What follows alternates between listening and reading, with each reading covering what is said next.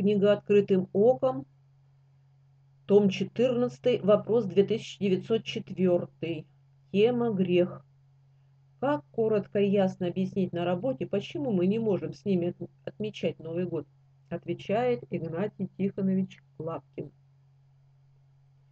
Можно сказать, что новолетие для нас не религиозный праздник, что он попадает на время рождественского поста, и что с неверующими мы не можем достойно отблагодарить за прошлый год нашего Создателя, Бога и Иегову, и Сына Его Иисуса Христа, и все животворящего Духа Святого.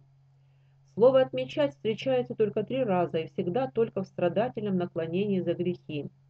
Исайя 22.10 «И отмечаете домы в Иерусалиме, и разрушаете домы, чтобы укрепить стену». Иеремия 2.22 «Посему, хотя бы ты умылся мылом и много употребил на себя щелоку, нечестие твое отмечено предо мною, говорит Господь Бог».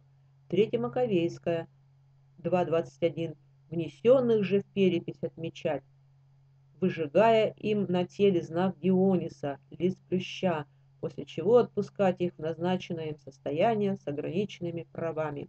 Кавычки закрыты.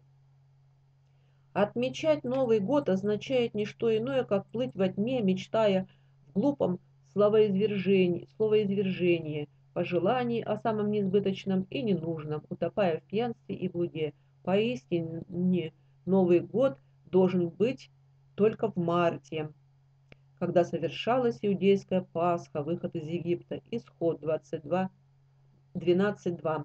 Месяц сей да будет у вас начало месяца, в первым да будет он у вас между месяцами, месяцами года.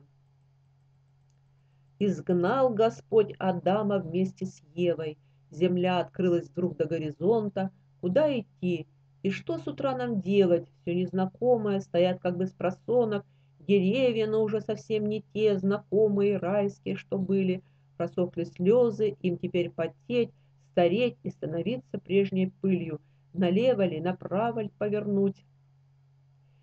Одна сплошная неизвестность всюду, ни стежек, ни тропы, звериный путь.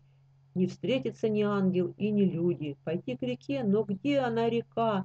Подобный сказочному Робинзону Крузо, кто больше знает, будет упрекать заботой об одежде и о пузе. Светило катится, пылает, прожигает. Пора подумать с Евой о ночлеге, впервые позавидовали гадам. Не изобрел Адам и колеса к телеге. Любое углубление пещера да будет не коттеджем, а жилищем. Оттуда лев выходит пасть ощерив, гостиниц нет и город не разыщут. Та шкура, чем одел и наделил Господь, подстилкой будет — а второй укрылись, одна другую согревает плоть, свою голубку обнимают крылья.